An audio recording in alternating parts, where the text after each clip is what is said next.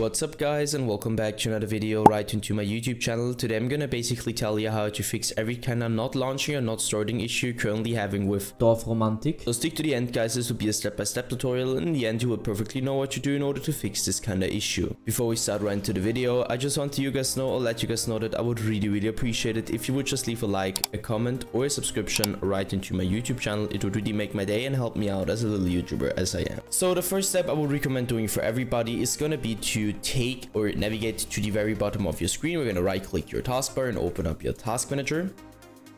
Once the task manager pops up, I want you to navigate to the top left corner, clicking onto processes. And once you click processes, I want you to click one of those random processes, doesn't really matter which one.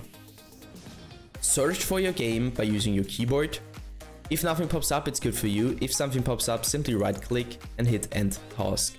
Once you're finished with that, I want you to end the task manager again and the next step is going to be to take your shortcut of your launcher from your Steam or your uh, game shortcut on your desktop, take it, right click it, and go to the very bottom where it says properties. So you're going to hit that, hit compatibility, and simply copy my settings. So let's quickly run through it. Enable run this program compatibility mode 4, select Windows 8, disable the disable full screen optimizations, as well as enable run this program as an administrator, hit apply and OK.